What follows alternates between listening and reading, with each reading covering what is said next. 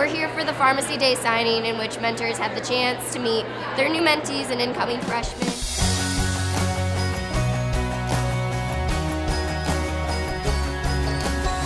4.0 grade point average, uh, valedictorian this year, so can't be more proud of her. So.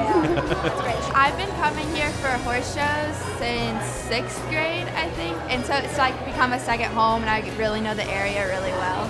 It's a great night for parents to come here because they have the opportunity to talk to faculty members and other mentors, so they can kind of get a feel of what campus is like and what the whole spirit of Findlay is about. I met my mentor tonight. She um, emailed me a couple weeks ago and said that we could meet here, and then right when I got here, we met up with her. The six year program was attractive, obviously, and uh, somewhere in the Midwest is where we wanted to be.